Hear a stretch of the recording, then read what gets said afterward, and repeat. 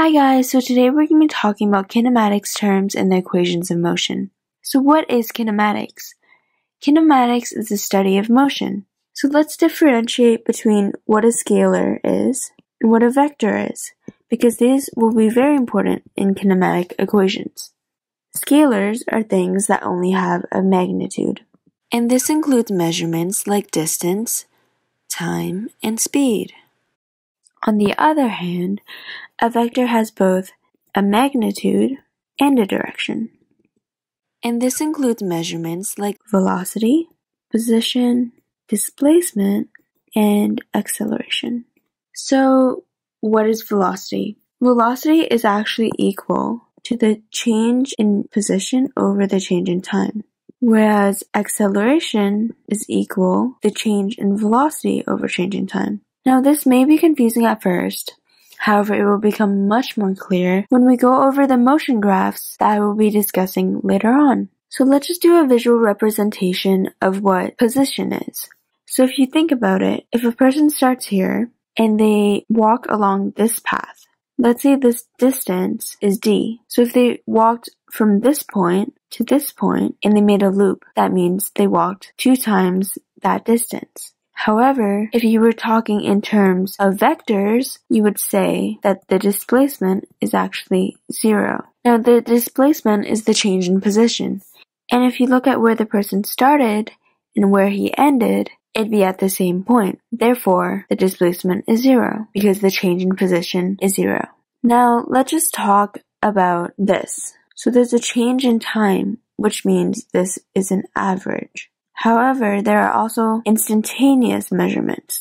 So an average is a measurement that's taken over a certain time interval, such as the definitions I've given up here. Whereas instantaneous would be a measurement at a specific point in time. Now this relates to the secant of a graph, whereas this relates to the tangent. If we draw out three graphs for comparison, Let's say this is position over time, and this is velocity over time, and this is acceleration over time. And this person walked something like this. So this would mean that their position didn't change at all during this point. They moved away from the reference point, but then again they stopped. So what does that mean? In terms of velocity, this would mean that your velocity was zero for this point because you did not move away from your reference point this would be zero.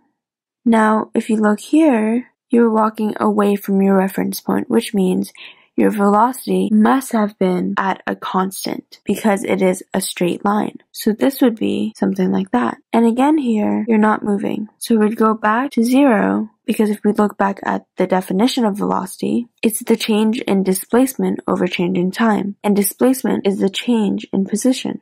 For this example, acceleration would be zero all throughout. Why, you ask? Because acceleration is the change in velocity over change in time. But if you look at all of these intervals, velocity is constant. Okay, so let's do a different example where you have an acceleration. So again, here's a distance time plot. And let's say your graph is something like this. Now, how would you do the velocity for that? Well, if you look here, you can see that you're traveling more distance away from your reference point as time goes along. Your velocity is actually increasing because you're having an acceleration. So your velocity here would go from zero, as we're assuming it started from rest, and it would increase, which would mean you would have an acceleration in the positive region. Now if you continue this graph, the distance slows down and eventually reaches zero at the max, because you're changing directions back down. So if you look at that, let's say it's constant for this time, and then it slows down back to zero, and then since it's changing directions and moving back towards the reference point, that would be a negative acceleration. And as you can see, it's getting steeper and steeper, which again means your velocity is increasing, but in the negative region. And there's no such thing as positive and negative. These simply refer to the direction. So I just allowed the positive to be moving away from the reference point, whereas the negative is moving back towards it. Now continuing our acceleration time graph, you can see that at this point, similar to this case, the acceleration is zero because your velocity is constant. However, over here, when you're having a negative velocity means that you're speeding up but moving towards the reference point. You have a negative acceleration. Now, if we actually analyze these motion graphs, you'll realize that the slope on the position time graph is actually d2 minus d1 over t2 minus t1, also known as secant. That gives you your velocity, which is anything here. Whereas your slope on the velocity graph is actually your acceleration, which is zero. And similarly, if you go backwards, the area under is representative of your velocity, whereas the area under the velocity time graph will be representative of the change in position during that time period.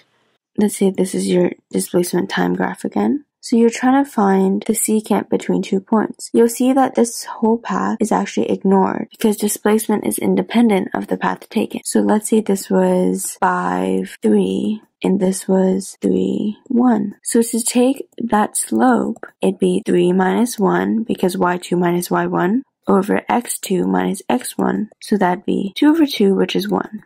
I forgot to mention this, but this would be in meters and this would be in seconds therefore meters per second. And as I was saying before, the slope is equal to the velocity, which makes sense because these units correspond with the velocity. What if you wanted the instantaneous velocity? How would you calculate that? It's the tangent, as I mentioned before. So the tangent only touches the point at the time which you're taking the velocity of. And then you would just draw a little triangle. Usually this would be done on graph paper and you would take the height and the width and you would just simply do the slope calculation with the change in height over change in width and then you would get a certain number here. So now that we know what acceleration is, what velocity, displacement, position, and distance, time, and speed are, we can actually talk about the big five equations. So there's five equations in kinematics that are going to be the most useful when acceleration is constant and these can be manipulated to solve for different variables. So starting off with the first one, so the displacement is equal to the average velocity, and if you think about it, the average would just be the sum divided by the number of terms you're adding, which would be 2. So that's where that comes from, times the time. And the variable that's not in this equation is acceleration. So if you were not given acceleration, you just need one of these to be your unknown, and if you have all the other information, then you can isolate for this, and then plug in numbers and get your answer. Now this is the only equation that actually does not have any arrows, meaning there's no vector notation. And the reason for this is actually because anytime you take the square of something, you're getting rid of the direction. Because square of anything gives you a positive number. So even if it was a negative direction than the one you were using as your reference, it would still come out positive. So there's no direction associated with equation number four. Now let's actually try solving some problems. So let's start off with a question from Nelson 1.1. So if you have the textbook, this is actually page 16.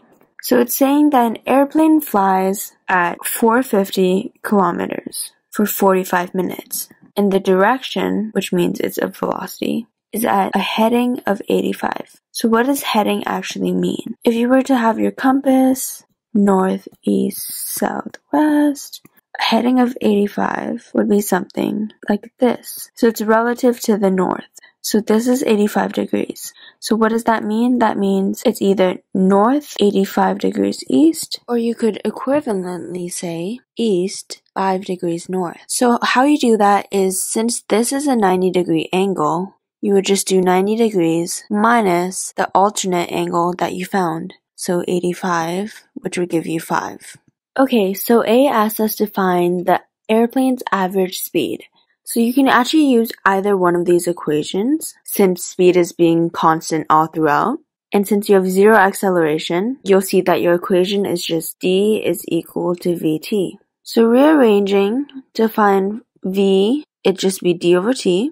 And you notice here that they didn't give you SI units. So you'll have to convert first.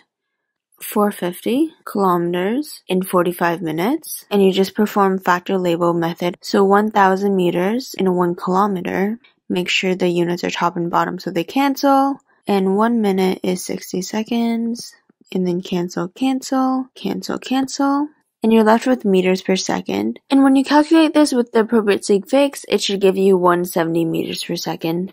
As you can notice here, there are two sig figs in your initial givens. Next, it's asking you in B to solve for the average velocity. Now, since your airplane is traveling the same direction all throughout the flight, this is actually your final direction. So the only difference here is that instead of distance over time, it's displacement over time. Your displacement is 450 kilometers north 85 degrees east and then you just actually repeat the same process as you did above with the factor label method and you would get 170 meters per second but with a direction this time. Okay, so now we're gonna end off with page 21, number 3. It says that officer at rest notices a speeder moving at 62 kilometers per hour. When the speeder passes, the officer accelerates at 3 meters per second squared in pursuit. The speeder doesn't notice until the officer catches up. So what are you given here?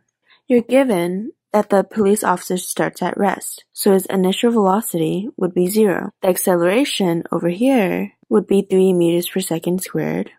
And since we're working with SI units and you're given that the speeder is moving at 62 kilometers per hour, you'd have to perform factor label method here and again, make sure that your units can cancel top and bottom, and you get that the speeder was moving at 17.223 meters per second. Now here, you let a certain direction be positive, because then you can get rid of vector notation, and it's much more simple. Question A asks, how long will it take for the officer to catch the speeder? So in order to solve for time, you have the two equations that describe the displacement of the speeder and the police officer, and you can let them equal each other and you solve for t. So when you isolate for t, you'll find something like this. So t0 is the first time they meet, which is when the speeder first passes by the officer, and t2 is the time you actually want. So because of sig figs, referring back to the question, you see there were two sig figs, so it was 11 seconds. In question B, it asks, how far will they move from the position where the officer was at rest? So over here, you're solving for displacement. So again, using that formula, you just sub the numbers in and then you would get that their displacement was 200 meters when using appropriate sig figs. So since it's a displacement, you have to include a direction. And since it's a positive, we know that it's forward since we let forward be positive. In C, it asks, calculate the speed of the police car when the officer catches the speeder. Is this reasonable? So you're solving for final speed. And using one of the big five equations again, you can cancel out V1 because the officer started at rest, and using factor label method, you would find that his speed was 122.4 kilometers per hour. So no, it's not reasonable because this is a very high speed. Now in D, it asks, now assume that the police officer accelerates until the police car is moving 10 kilometers per hour faster than the speeder and then moves at a constant velocity. How long will it take to catch the speeder? And is this scenario more reasonable than the scenario in C? So over here, you're given that the final velocity of the police officer is 10 kilometers more than the speed of the speeder. So that gives you 72 kilometers per hour, and then when you convert it, 20 meters per second. Also remember that the officer starts at rest, so his initial velocity was 0 meters per second, and then his acceleration was 3 meters per second squared. Solving for t once again, you just sub the numbers in, cancel out v1, and you get 6.7 seconds. And yes, this is more reasonable because he was only driving at 72 kilometers per hour versus 122.4. So that wraps up our first lesson about kinematics terms and the equations of motion. Tune in next time to learn about displacement, velocity, and acceleration in two dimensions.